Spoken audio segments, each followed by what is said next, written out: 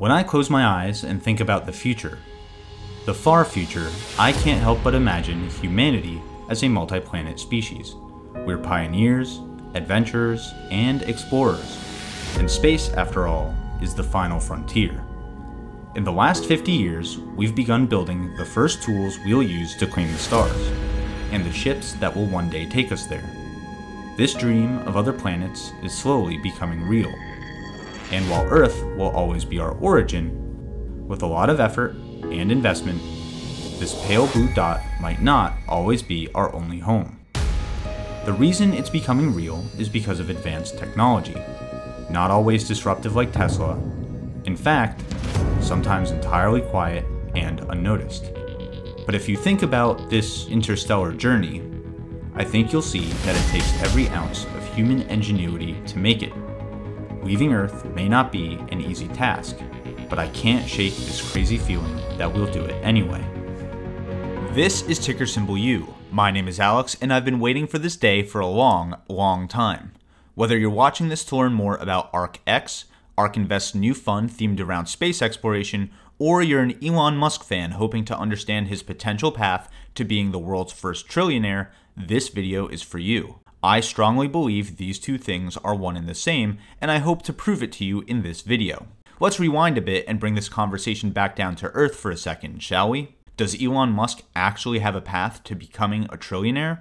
Chamath, you mentioned um, rocket fuel, and I'm gonna. It's a loaded question, but nonetheless, maybe the the epitome of, of all of this is Tesla, which is up 700 plus percent over the last year.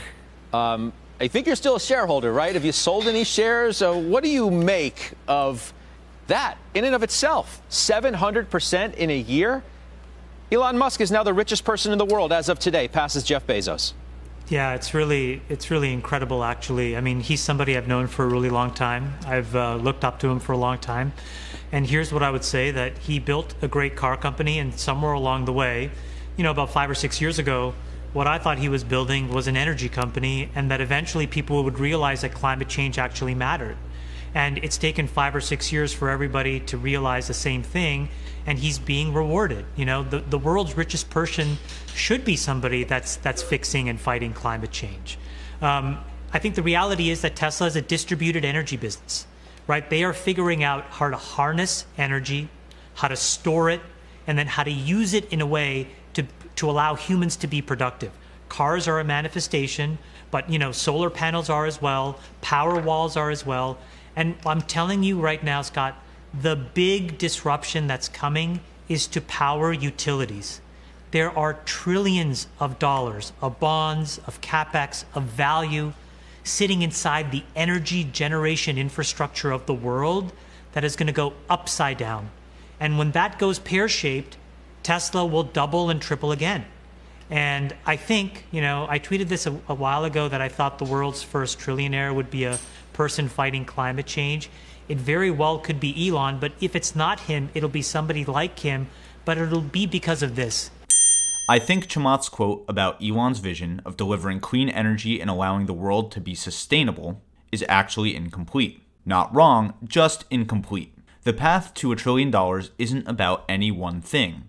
It's about the culmination and integration of a lot of things. ARK Invest and Tesla are pieces of a much bigger puzzle. It's a puzzle where each piece needs to fit in exactly with the pieces next to it. If any puzzle piece isn't doing its job, the whole puzzle gets messed up. Here's a high level view of what I believe are all the pieces to Elon's puzzle. These puzzle pieces are the same ones I think will be represented in ARK-X and I'll explain as we go. Let's let Elon Musk be our guide as we explore the things that could be in ARK Invest's space exploration fund.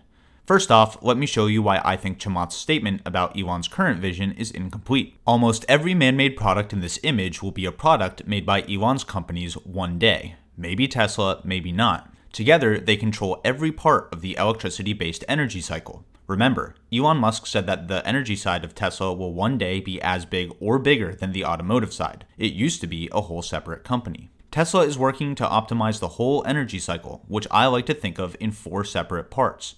The solar roof and industrial solar panels produce energy from sunlight. The focus here is on more efficient energy production via better solar panels that can be placed anywhere, everywhere, and at any scale. The Powerwall, Powerpack, and Megapacks store that energy for future use, like when the sun isn't shining or there's no power coming from the grid. The Tesla Powerpacks are flexible systems that are modular and infinitely scalable. You can keep stacking as many as you need for your application.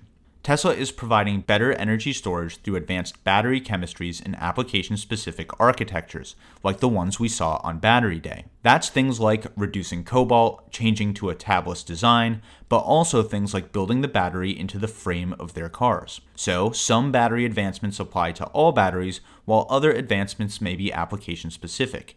Both of these matter to the big picture. Speaking of the cars, point to point transport today is a pretty inefficient and costly process, so Tesla is working to make that better with their cars. Tesla's cars are really just an extension of their batteries.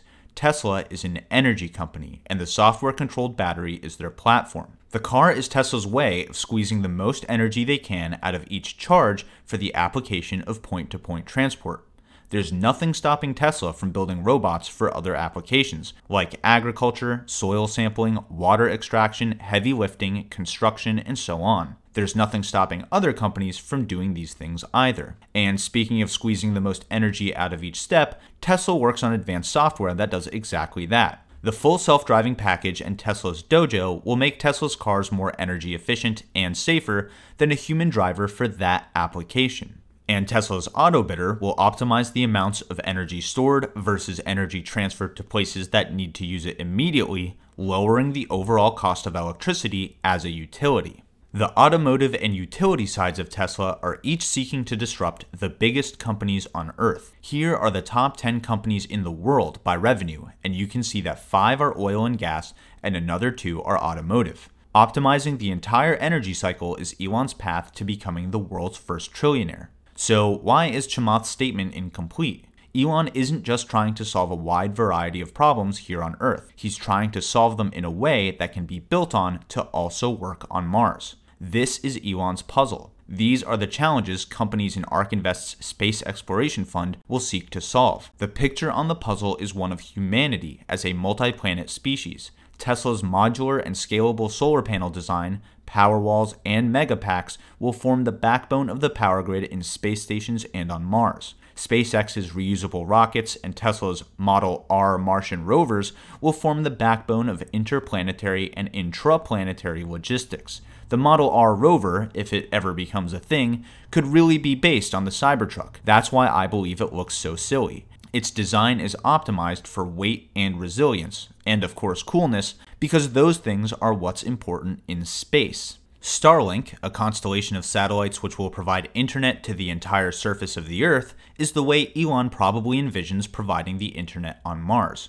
Olympus Mons, the biggest mountain on Mars, is three times higher than Mount Everest, the highest mountain on Earth. And Mariner Valley, the deepest canyon on Mars, is 2,500 miles long and four times deeper than the Grand Canyon. With features like that dotting the Martian surface, which we can't breathe on to begin with, our best bet might be to build networks of tunnels instead of highways and bridges. That's exactly what Elon's Boring Company is doing here on Earth. I'm not going to pretend to know the extent of how OpenAI and Neuralink fit into this picture, but I'm positive they play an important role. Maybe advanced person to person communications and new types of human to machine interfaces, or maybe something else entirely. The companies in ARK-X will have to offer some similar solutions, or at least pieces of solutions to these same problems inter and intraplanetary communications, all terrain travel, reusable space based heavy transport, energy transmission, storage, and generation, and maybe one day even companies focused on space based agriculture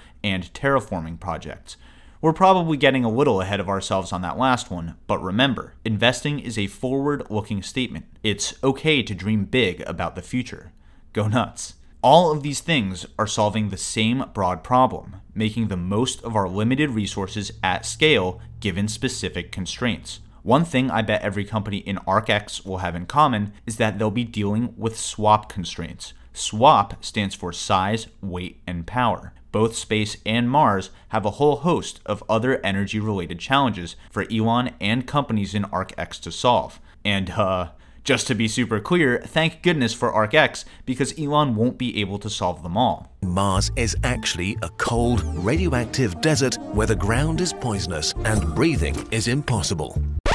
Yikes! So let's flip the script. Instead of looking at the Martian applications of Earth based companies, let's ask what other applications we would need to solve here on Earth, knowing that they'd be serious energy related challenges in space and on Mars. For example, keeping our rovers, residential domes, and agricultural facilities climate controlled is going to be a very big deal temperature and humidity control are already a huge deal here on Earth, and that's without the constraints that come with doing them off planet. Remember when I said that almost every man made product in this image will be an Elon made product one day? I meant it. The glass, the walls, the doors, the wires, the heating, ventilation, air conditioning, and water generation system are all my guesses on future Elon projects and the types of companies that ARK-X may hold. Have you thought about creating an air conditioning system?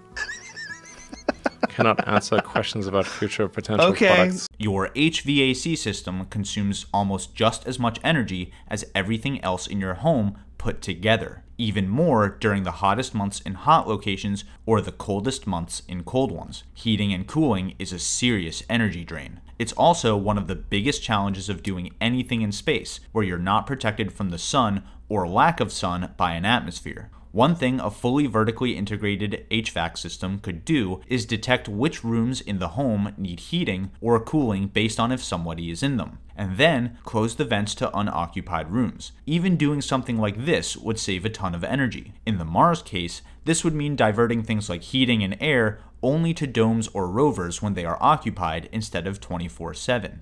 So, ARK-X might hold companies that focus on advanced thermal and resource control systems for residential and commercial applications. The cooling coils in air conditioning systems today cool the air so much that they condense water out of it. Capturing that water could result in capturing a couple gallons of water per day per home. Fresh drinking water. That's a big deal. Companies that make clever use of the various byproducts of chemical processes, like reusing water created by air conditioning, could make their way into ARK-X.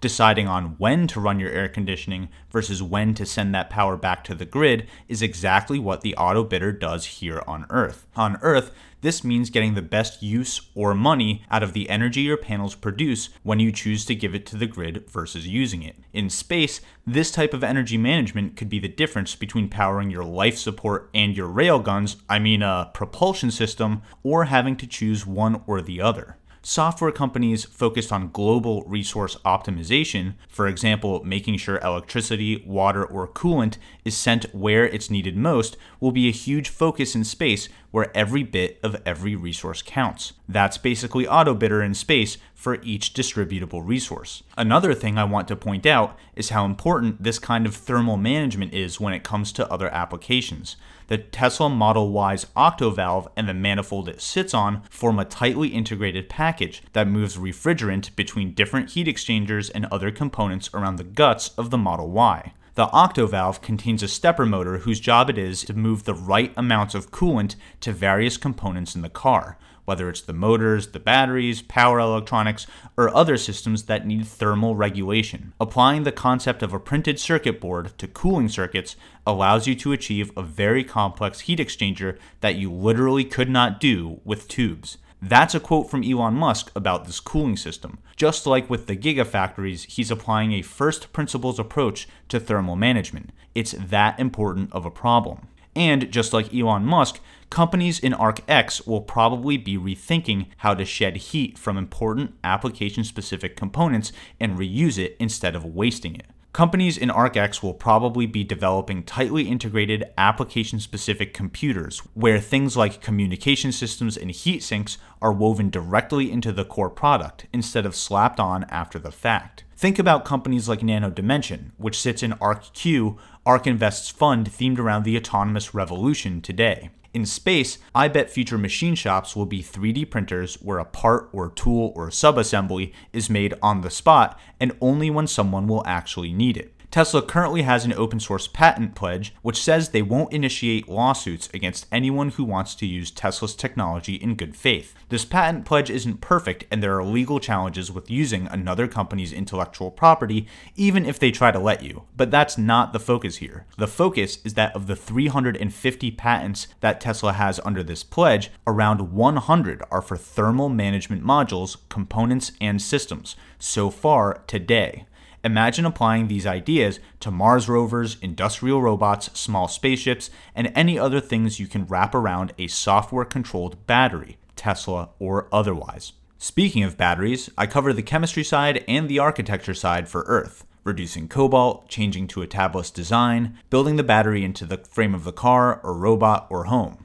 In space and on Mars, companies in ARK-X may need to change the designs of batteries again because of things like the swap constraints I mentioned earlier. This might mean creating batteries specific to a given application instead of the more universal battery systems we're used to today. Or it could mean creating batteries with variable energy densities, so that you can tune a battery to supply as much power as possible for a given weight. That would basically provide the flexibility of liquid gasoline, but for batteries we're actually starting to see this type of separation of batteries by chemistry happen here on Earth, because not all battery cells are created equal. For example, not all batteries are qualified for automotive. Last summer, Gali over at Hyperchange interviewed Vivas Kumar, ex battery supply chain manager for Tesla.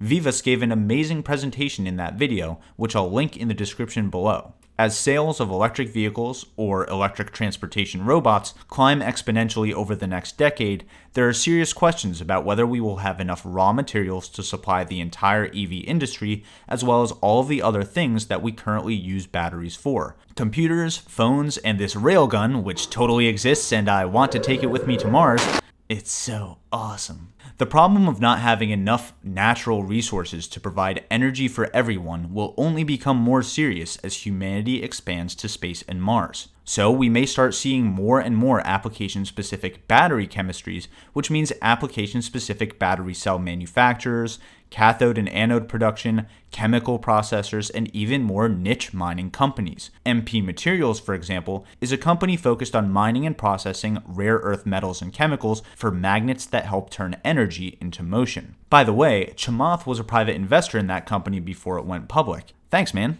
On the other end of that supply chain will be battery recycling programs. Just like squeezing the most out of every bit of electricity, water, and heat, we will have to squeeze the most out of every mineral and chemical. A company called Redwood Materials is working on recycling electric vehicle batteries to recover 95% of the nickel, cobalt, and graphite, and over 80% of the lithium in these batteries. Redwood's founder and CEO is J.B. Straubel, the former chief technology officer of Tesla. Straubel says there's a major opportunity for material reuse and recovery, and that eventually we're going to move toward a remanufacturing ecosystem. Tesla's future gigafactories might tightly integrate remanufacturing areas into the rest of the factory floor in cool and clever ways. Just to be clear, the recycling and remanufacturing industry is in its infancy today, and there are many, many challenges to it like people not making the effort to get their batteries or parts recycled in the first place, having different materials and chemistries needing to be broken down differently, inefficiencies in the chemical processes involved with breaking them down, and many more. These are the types of challenges that companies in ARK-X could help solve or sidestep completely. Need a car battery?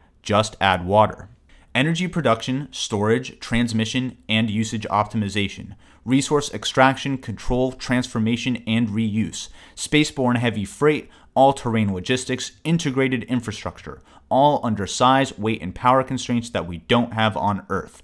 There's one more piece to the puzzle, and that's the software side of things. We've already covered Tesla's AutoBidder and extending that to general resource management. Tesla's Dojo, which will offer machine learning as a service, will help other applications of sensing, site mapping, and path planning get up and running. On Earth, this leads to self driving cars and autonomous ride hailing networks, a topic this channel has covered extensively. Other applications of machine learning are recommender systems like the ones Netflix, Roku, Spotify, and other ARK Invest's top holdings use to entertain you today. In my most recent video, I called Tesla the Netflix of point to point travel because it will use machine learning to combine everything it knows about you when you log into the car and everything it knows about the trip you're about to take to recommend you the best movies, music, and games for you on that specific trip. Check out my video on ARKW, ARK Invest's fund themed around the next generation of internet applications enabled by artificial intelligence for more information on that. Tesla providing autonomous mobility as a service, hyper personalized infotainment, and machine learning as a service are three keys to Elon Musk becoming the world's first trillionaire. Tesla has largely solved the problem of what screens and informational displays should look like in cars on Earth but companies in ARK-X will probably be coming up with novel and clever ways of communicating and displaying information to humans in spacesuits, on spaceships, and on other planets. I'm not so sure about holograms, but smart glasses, smart materials for in helmet or on spacesuit displays, and displays that can change shape and size could be on the list. Also, think about communications protocols like Apple's AirDrop or Android's Nearby Share which allow people to quickly exchange mixed media information. In space, every second counts. These are also concepts that will extend to robots, as swarms and fleets of unmanned mobile robots will have to get from point A to point B along optimized paths, and learn to complete mechanically complex tasks as automatically and efficiently as possible. To do so, they'll need the right sensors and communications hardware to process and share information some companies in ARK-X will be building advanced sensors and communications packages, high resolution radars, compact but powerful optics, and algorithms that mix data from different types of sensors to form the best overall picture. Narrow beam laser communications, high powered long range radars, and maybe even laser based wireless charging could be among ARK-X's holdings as well. This drone isn't flying very high and it's not really going to go very far, but it is still very impressive because it has no battery whatsoever. It's getting its power wirelessly from the power transfer pad underneath. So there's no battery, and so I can like stick that underneath just to prove there's no wires. That is wireless charging a wireless power transfer. Yeah, baby. Just this week, Tesla filed to use a new millimeter wave radar in their vehicles. Tesla uses a combination of cameras, radars, and ultrasonics to give their transport robots, I mean cars, a clear view of the world around them. This sensor suite is probably a great start for a robot that wants to navigate to a specific spot on Mars or on an asteroid or on a space station and complete a different task and the machine learning training that Tesla's Dojo can provide will probably help it get there faster, safer, and in less attempts overall. If you're interested in the robotics and space exploration side of ARK's existing investments, my video on ARK-Q, ARK Invest's fund themed around the autonomous revolution, is for you. And if you take away just one thing from this video, let it be ARK Invest and Tesla are pieces of a much bigger puzzle, and you and I are pieces of that puzzle too. Comment below with what you think will be in ARK-X, ARK Invest's new fund themed around space exploration. I read every single comment and reply to as many as I can. Along with all my sources for this video, I'm including an invite link to my Discord community in the description below. Just like ARK Invest and Tesla, this community is growing exponentially. There's a channel for every ARK Invest fund, including ARK-X, and each of ARK's major innovation platforms. There are also channels for each individual company led by Elon Musk on his path to becoming the world's first modern trillionaire, and every SPAC initiated by Chamath, including Virgin Galactic, ticker symbol SPCE, which will surely be added to ARK-X. Come join me and over 2,500 others as we share our visions for the future and our investment thesis in it. Your voice matters. Speaking of exponential growth, I'm proud to say that after just two months, this channel is big enough to allow memberships. Not only will you be able to show off your support with custom badges and emoji in video comments and live chats, but you'll also gain access to exclusive community posts and channel surveys which influence the future direction of ticker symbol YOU. Joining as a member of the channel is also a great way to support future research, videos, and other projects. I spend a lot of time researching things like SpaceX's titanium hypersonic grid fins, phase change materials for heat sinks and microsatellites, and uh, what the Thanks for investing your precious time with me. This is ticker symbol YOU. My name is Alex, reminding you that the best investment you can make is in you.